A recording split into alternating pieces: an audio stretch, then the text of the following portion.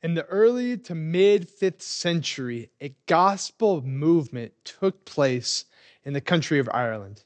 And this movement uh, was really impressive because it defied all expectations. Uh, it was a movement that took place in a country that was previously unreached, that the people looked at its inhabitants as barbarians. Uh, and it took place not through the techniques that we would often think would lead to uh, such a revival in a country. And to be clear, there were tens of thousands of people in Ireland because of this movement that gave their life to Christ. And it didn't happen in the way that we would normally think. It didn't happen because this amazing, beautiful church building, massive, that was planted that just drew people in. It wasn't on the back of some talented speaker who could proclaim the gospel in a, in a beautiful way. It wasn't through the backing of finances. It simply took place because a community of believers left their home and planted themselves in Ireland. And they did so, this, this small community, they planted themselves amongst uh, a lost people, and they lived lives dedicated to living out the gospel, to living Christ centered, and living out the commands about loving one another that are found in the New Testament. And they had this mindset that was called belong before you believe.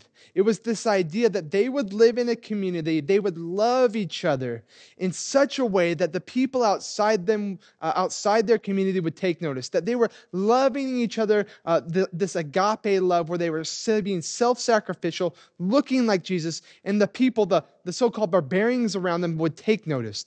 And they did and they would say, Hey, you know what? If you want to see more about this community, you can come and join in this community. You can belong despite the fact that you're not a follower of Christ.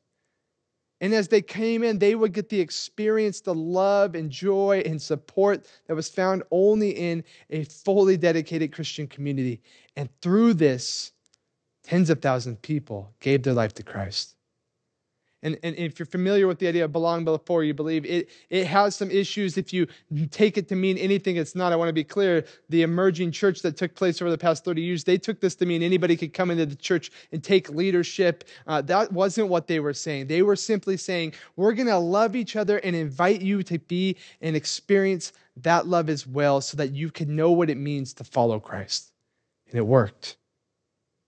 It worked in an amazing way. And today we're looking at First Peter. We're continuing our series. We're going to be looking at the first 11 verses of chapter 4. And in it, we are going to see the type of community that Peter and God calls Christ followers to live out, and how that community shaped and changed uh, the people around them in northern Turkey. It changed the entirety of Rome. And so, if you want to go ahead and open your Bibles to 1 Peter chapter 4, we'll dive right in. But I wanted to take a moment before we get going to just remind you that this is one, uh, this is a continual letter right? He's, when it was normally or originally presented, they would go around the country and it would be read to uh, followers of Christ uh, front to back. And we've now spent several months just kind of di- taking a deep dive into it. And I want to make sure we understand it because uh, that what we're talking about today immediately precedes what Jason spoke of last week. It's just one continual flow of thought or this is a new chapter and new verses. Those chapters and verses didn't exist in the original text. Uh, they were put in afterwards by man to divide up as best they could uh, this book. But this is a continuous flow of thought. So we have to remember Jason spoke last week about the suffering of Christ, talked about baptism, but ultimately talked about how Jesus is victorious even though he died in the flesh. And out of that, uh, he reigns and has ultimate authority over all things uh, in heaven and in earth. So, keeping that in mind, let's go ahead. We're going to look at what Peter has for us in 1 Peter chapter 4. And the first thing we're going to see is this gospel divide that he's going to talk about. This gospel divide, that's the first one. And what I mean by that is that in our lives, there is a marker for us. There's the before, the past, and then the, uh, the present and the future on the other side that we live in. And the marker for us in our lives is when the gospel makes impact for us, when we give our lives to Christ. And he's going to talk about this divide, your past and your present. Uh, and it's interesting that uh, Heather, our, our, our, life groups director, she said, just like in our lives, there's a divide. There's the divide in history. There's the before Christ, BC, and then there's AD, Anno Domini, in the year of the Lord. We measure all of history. Uh, we break it by where the gospel actually takes place. So uh, his, human history is, is looked at through the lens of the gospel, and our lives are looked at through the lens of the gospel. So let's see what he has to say. It says, verse 1 Since therefore Christ suffered in the flesh, Arm yourselves with the same way of thinking. For whoever has suffered in the flesh has ceased from sin. So he's coming right out of that idea, talking about how Christ suffered and then it reigns from heaven. Uh, he says, Christ suffered in the, because Christ has suffered in the flesh. And what he means by this, the suffering that he's talking about, is Christ's ultimate suffering, his death and sacrifice on the cross in his ultimate suffering, where he dies literally in the flesh, we also have suffered along with him. But we don't die in the flesh like he does, we die to our flesh. We die from the fleshly desires. We die from our uh, enslavement to sin. There is this marker moment in our lives in which we are freed from sin because of the sacrifice of Christ on the cross we join in his suffering and we are transformed through it. And with that, he talks about arm yourselves with the same way of thinking. Out of Christ's suffering, we see what led him to the cross, and we are to arm ourselves in the same right thinking that he has. And so, what is this right thinking? In First Peter, he talks about multiple different ways that while Christ was suffering, he did not sin. Uh, he never returned evil for evil, reviling for reviling. He, he, he was dedicated to living out the will of God in all things. And he, though he had the right to, he had the power to, he allowed judgment and justice to reside fully with the Father. And so we are to arm ourselves with the same thinking as we are called to live separate from sin. We are called to, as Peter has been calling through the entire book, called to live as a holy people uh, despite our circumstances. And to act and live holy, we don't start with right acting, we start with right thinking. If we want to live as holy people, we have to think as holy people. And our greatest example is Christ who is willing to lay down his life to go to the cross for us. And we are participating, as it was said in chapter 2, we are in the midst of a spiritual battle. He uses this military words. We are to arm ourselves with that right thinking. We are to be intentional. We are to carry it with us as we are suffering from spiritual attack, from whatever suffering we get from the, the physical world. We are to carry that with us in all aspects of our lives so that we too can live as Christ lived. So we look to the living hope that he, he has given us, this grace, this unearned grace that grants us eternal life and the forgiveness of sins.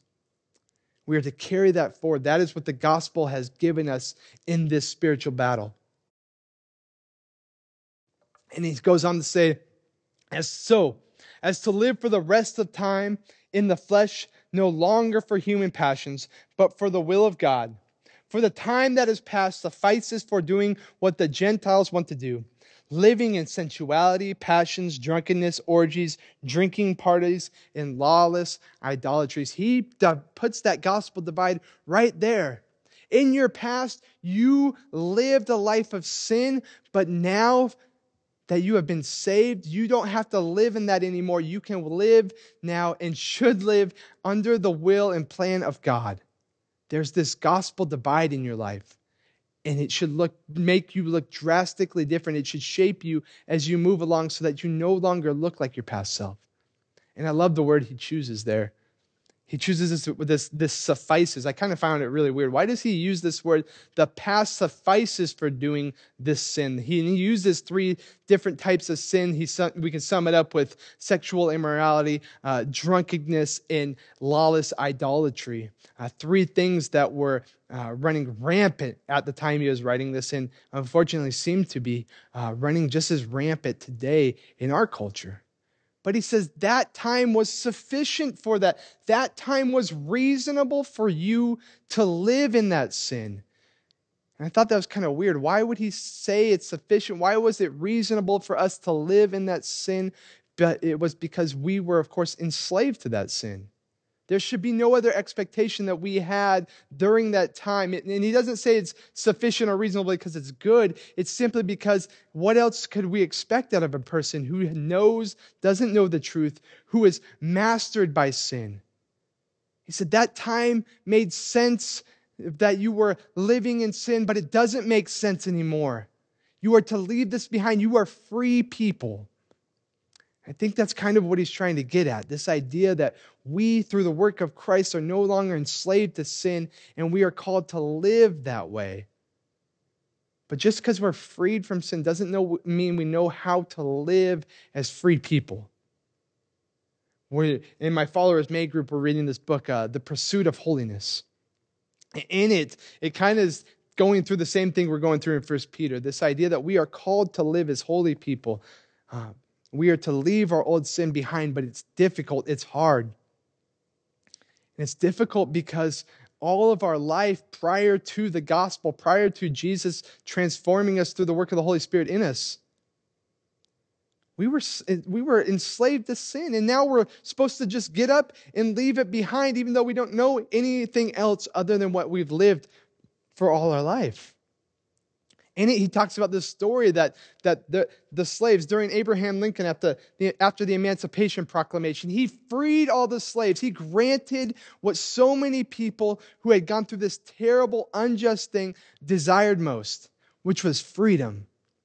And there's letters of these slaves granted the, the, the desires of the heart, this freedom that they've longed for. And they write and say, I don't know what to do with my life. I've been freed, but I don't even know what to do anymore. All I've known is being a slave since the moment I was born to the, this, this moment in my life. And there are instances where slaves would return to their masters. They couldn't be slaves legally, but they would live almost exactly the same as they had prior to that because they didn't know what it meant to live free. They had no idea how to even envision it or live it out. And so they returned to their old ways. And I look at it and it's so sad and frustrating and, and, and kind of bewildering, but it's true for us in our spiritual lives. We don't know how to live as free people. We have to learn how to live. And Peter's writing to these group of people, trying to uh, equip them, arm them with right thinking to say, you can live as free people, not free to do whatever you want, but free to be obedient to God. And he's giving, giving them the tools and the examples of how to do so. I have to say, I, have I've lived this out in my life. I remember, and I think I've shared this uh, years ago this this time in my life it was high school uh, kind of college age and it was the, the, age of myspace. And if you're not familiar with myspace it was like facebook but weirder. It was like the wild west of the internet. There was all the you know you had your page and you could put whatever music on it. But there was this at this time what people loved to do was like these these questionnaires and you would go through and answer them all. And i got to the bottom one is are you a christian? I'm like yeah i'm a christian. Yes put it there post it up on my wall and i got two immediate responses. It's from my sister and one of my best friends, and they said, You're a Christian? It was a punch in the gut, but it was, a, it was eye opening for me.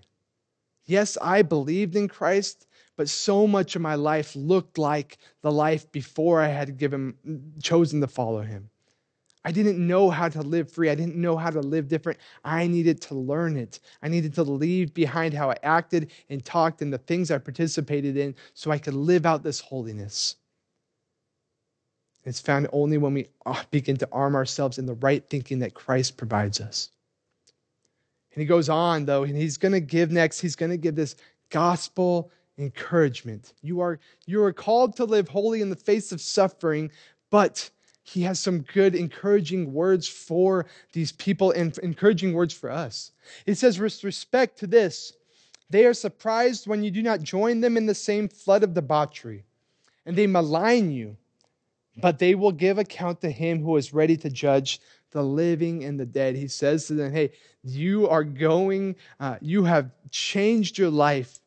the people that you used to associate or the people who, who now uh, participate in the sin you used to participate, these Gentiles who, who don't live under the will of God or the law of God, they're going to look at you with suspicion and disdain. They look at you and see someone who is living in a way that doesn't match up to the lawlessness they live under, the debauchery they live under, and they are going to look down upon you. And he says they'll be surprised, but you shouldn't be surprised. You should be prepared for this. Those who live in the dark can't understand the light. But out of that, he has he has two encouragements.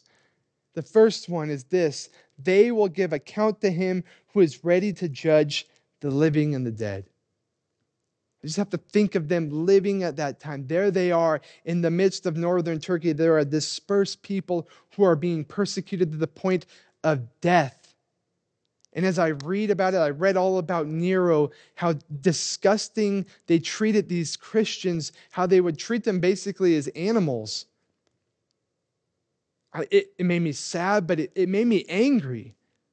I wanted them not just to stop, not be hurt, but beyond that, I wanted justice for them. I, I, I wanted them to fight back. I wanted God to fight back in their place. I wanted the evil that was being done to be brought to justice. For God to, I grew up in the Catholic Church, and all I ever heard was God like to, to smite them. Pour out your wrath on them. And I, I can't speak for them, but I, I have to imagine them living in the same situ- situation. They're feeling the same thing like, God, where is justice in all of this? I chose to follow you, and now I am going to die because they don't like us for it. And he points to this idea that, yes, what is happening to you is wrong. But you're not to seek judgment. You're not to deal out your own justice that you desire so greatly. You are to trust fully in God, the Father, who has ultimate authority, who will judge the living and the dead. These people who are doing harm to you, they too will have to one day face their Creator.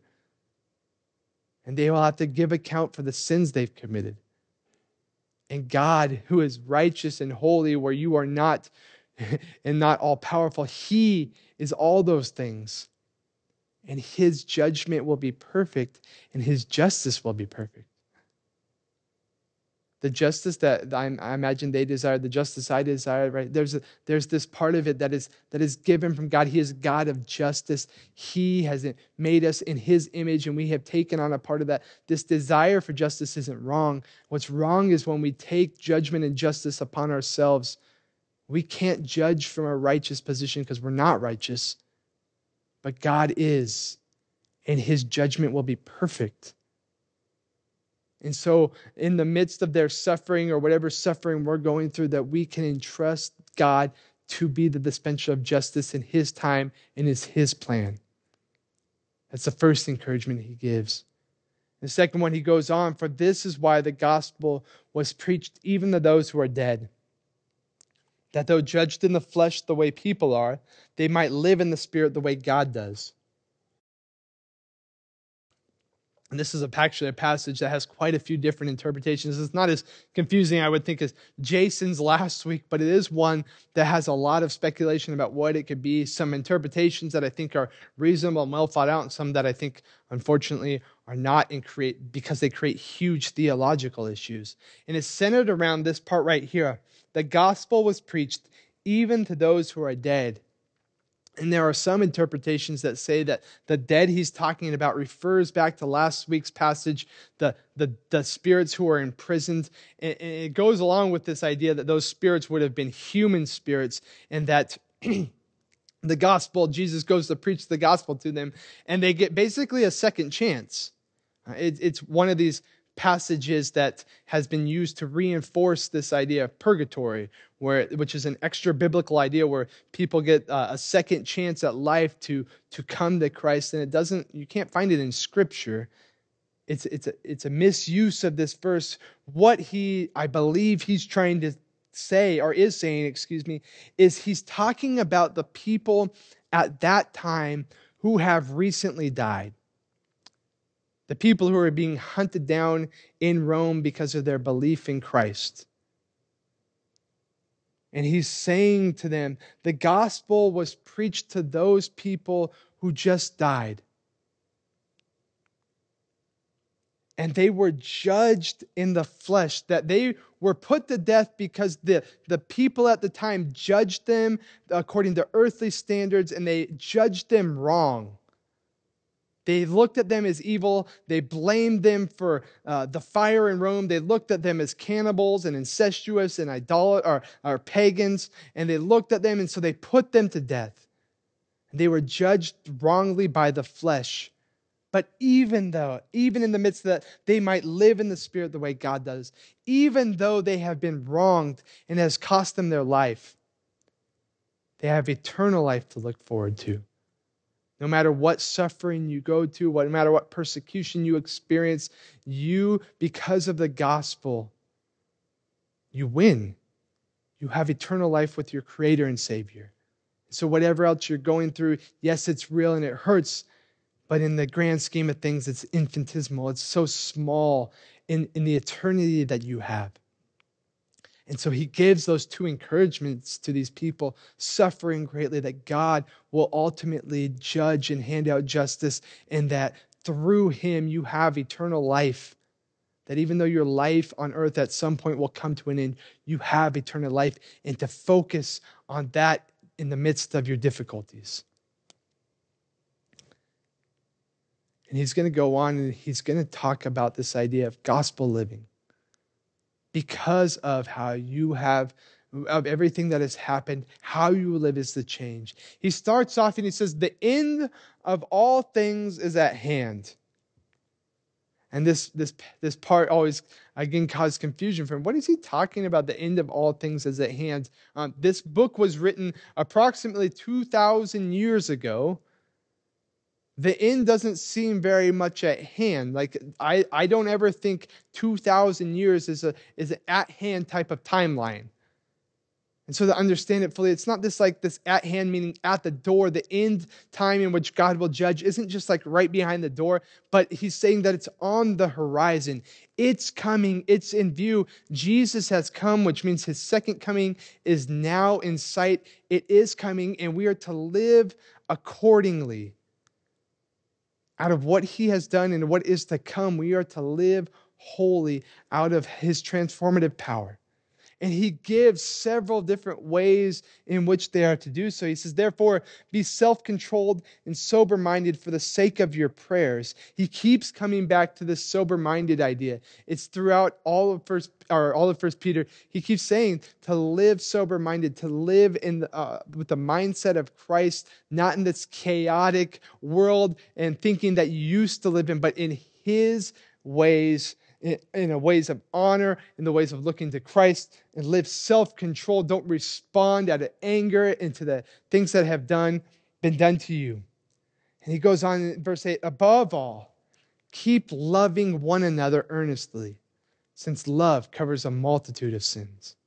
So the gospel living, first and foremost, means that you will be known for the love you have for each, each other to be clear, he's writing to them about how they're to live out the gospel amongst themselves. This is how the church is to live with one another. And he says, more than anything else, you are to be guided by the principle of love.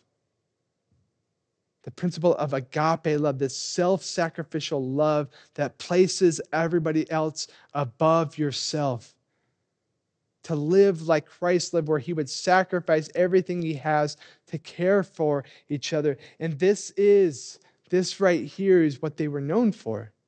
The Christians at the time, in the face of persecution, were known for their immense love for one another and the love for the people around them.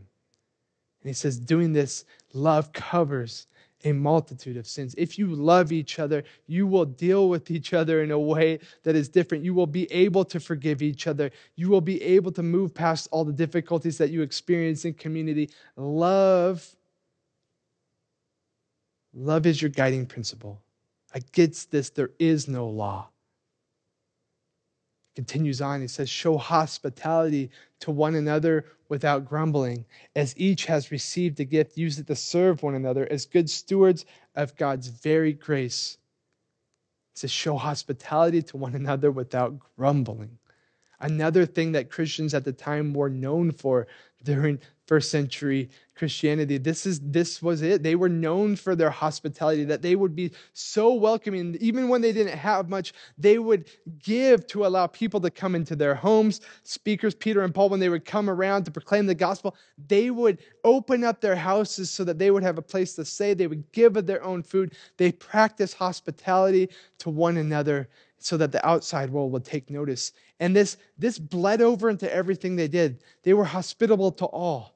They were known for caring for the women, or uh, widows, women who had no standing in society because they lost their husband, who weren't heirs to their husband's fortune. They would bring them in and care for them as if they were their own family members and they would provide for them when, when the culture would not. They were known for being hospitable to, to babies who were left out in fields to die. They would bring them in and treat them as their own kids because maybe dad didn't want them. They were known for being hospitable to orphans who would lose their parents. They would bring them in and treat them as if they were their own.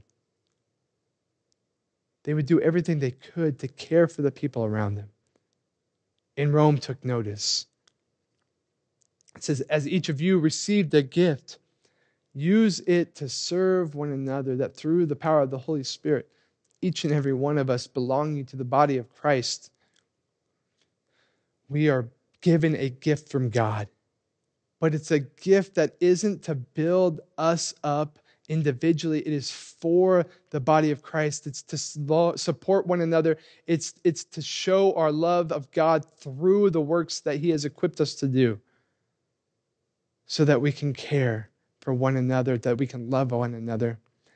It says, Whoever speaks is one who speaks orders of God. Whoever serves is one who serves by the strength that God supplies that there's different there's so there's a multitude of gifts but he he highlights to this idea of speaking right? That there are teachers in the church there are speakers in the church as one of the gifts that god has given us. And if that's your gift great. Use it though not to glorify yourself but to equip and encourage the people of god for uh, whatever situation they're in, and for everyone else who has been giving gifts that allow us to serve in different ways. Use those to serve one another, but through it all, it's by the strength that God supplies. That these gifts, they're not of your own doing, but they're the gift of God for his body.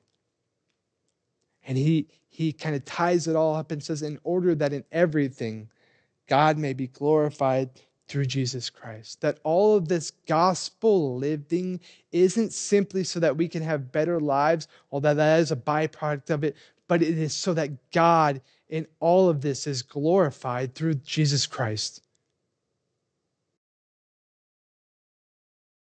And this is what they did.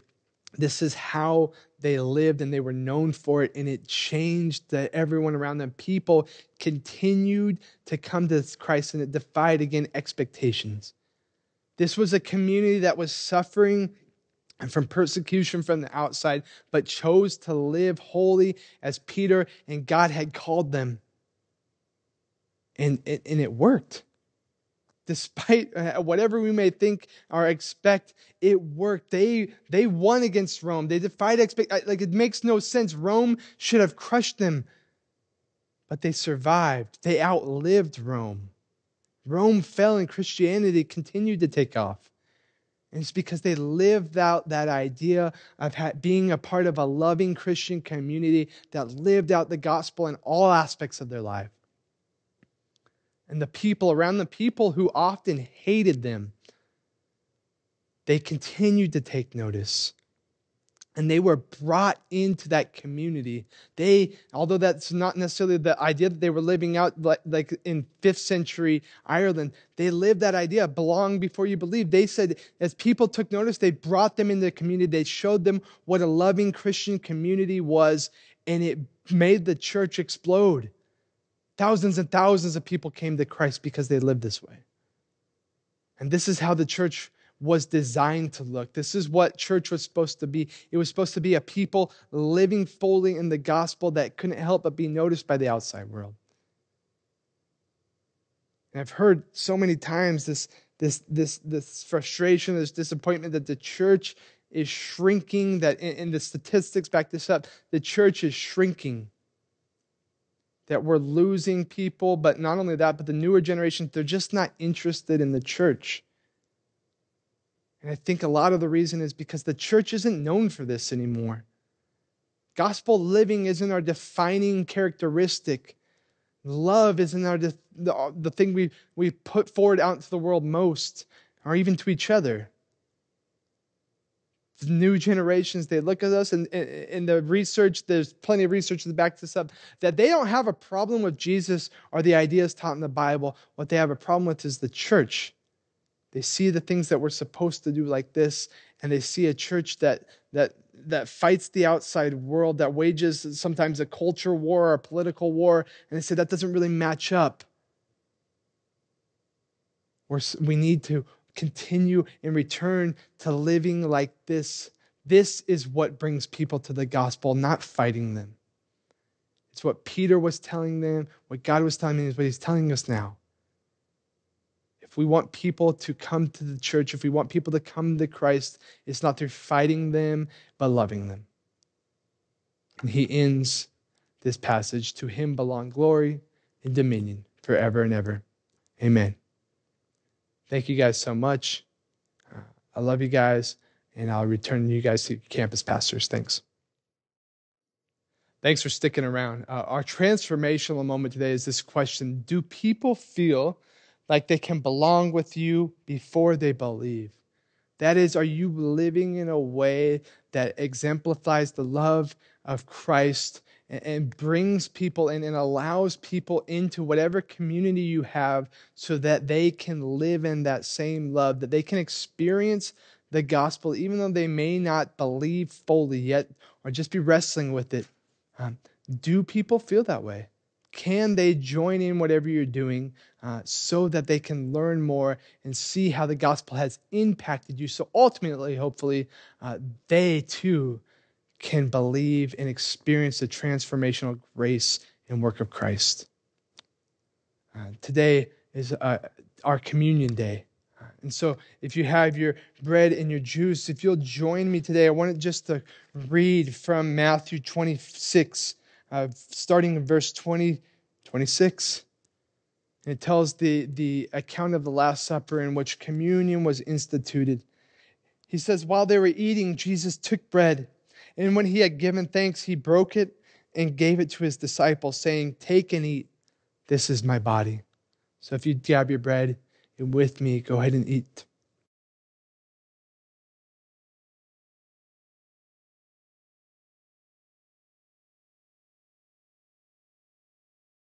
Continue on, on in verse 27. Then he took a cup, and when he had given thanks, he gave it to them, saying, Drink from it, all of you. This is my blood of the covenant, which is poured out for many for the forgiveness of sins. I tell you, I will not drink from this fruit of the vine from now on until that day when I drink it new with you in my Father's kingdom. So if you take your drink, juice and drink it with me.